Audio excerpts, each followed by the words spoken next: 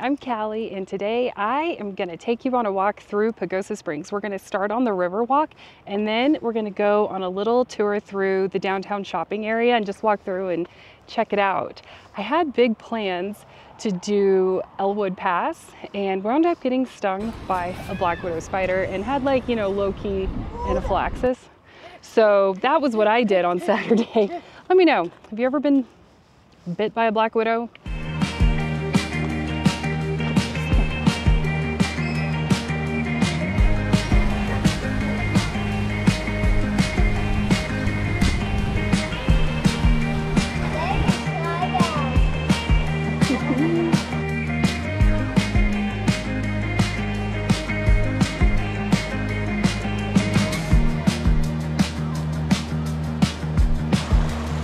It looks steamy. Yeah. There. I never noticed that before.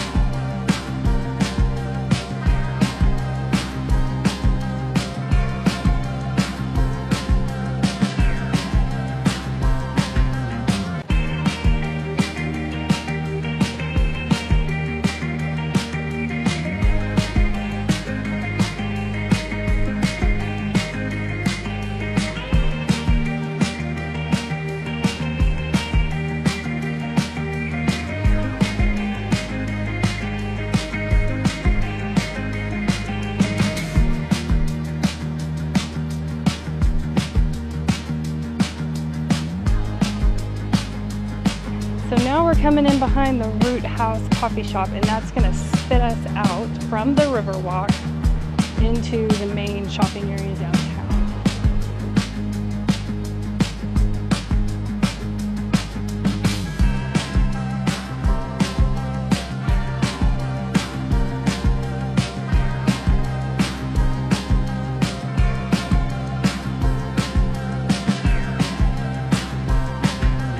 Generally, you can find plenty of parking downtown. You just, you may have to drive a little bit, but it'll be a close walk for you to get onto the Riverwalk or to get to the shopping area.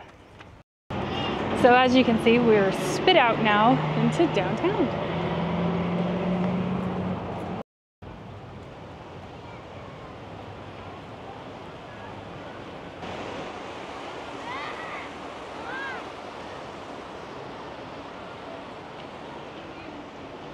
Did you touch it? Was it hot? It's very full. So here's water. If you don't want to walk oh, down Oh, and you just want to pull off and park, so you can touch it right here, right off of downtown. So. That, that is so hot.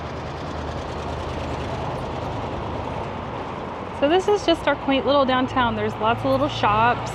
Nothing that's going to take you hours and hours and hours to go through, but I do recommend the Froyo spot.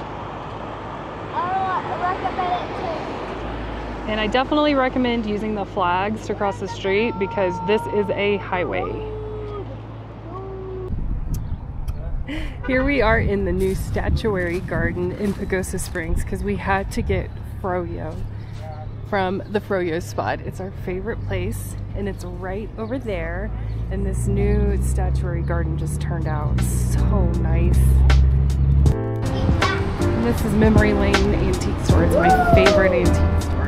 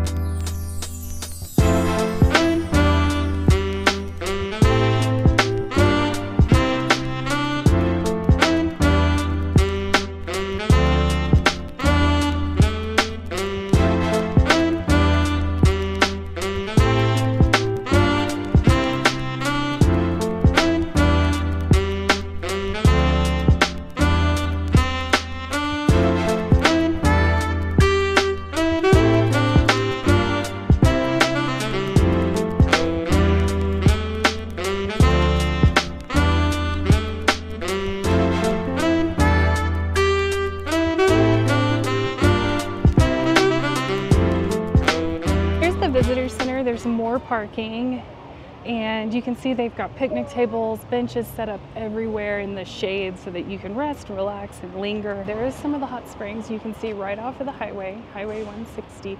These are called the Hippie Dip, sometimes Nathan's Hippie Dip, sometimes Nathan's Hot Springs, uh, depending on who you talk to. There are three different hot springs that you can pay to get into here, but you can also just get in to the river where the hot springs naturally come up.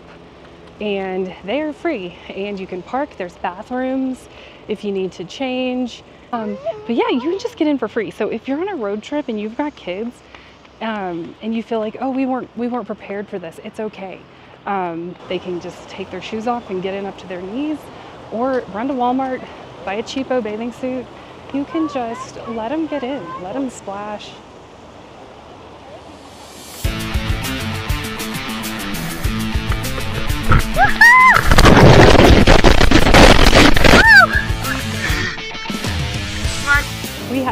fun in the hot springs. Sam got to soak. He got to play with a bunch of little boys. There's always little kids this time of day, which is noon, um, in the hot springs. In the evenings, there's more, more adults are out and about, but it's always very kid friendly, in my opinion.